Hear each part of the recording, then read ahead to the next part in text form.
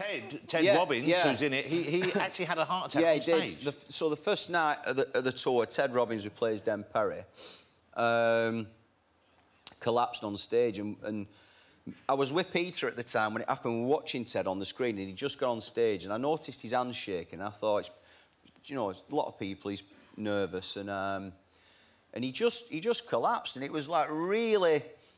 When you hear about that, uh, like for instance, happened to Tommy Cooper and Leonard Rossiter and what have you, and you hear about it, but when you see it, it's it, it's it's horrendous. So he collapsed and he and he and he actually died. His heart stopped on stage. Now, talk about luck. Richard Curtis was in the audience that night, and there was a, a guy at the side of Richard Curtis, no connection, who just happened to be a heart specialist. And he turned around to Richard and said, Can I go on stage? Because he knew instantly what it was. And, and he went on stage and, and basically got to work on Ted.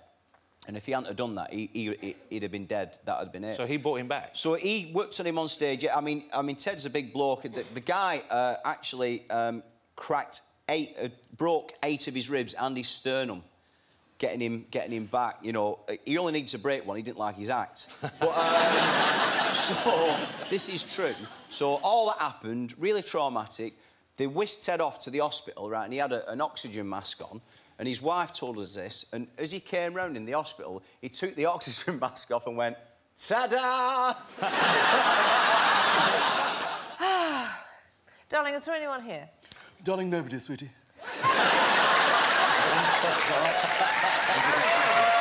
it's not very good. You know, in the long run, it, it screws with you a bit. So Tinder is about having dates, going on dates. So if you see me on there, do say hello.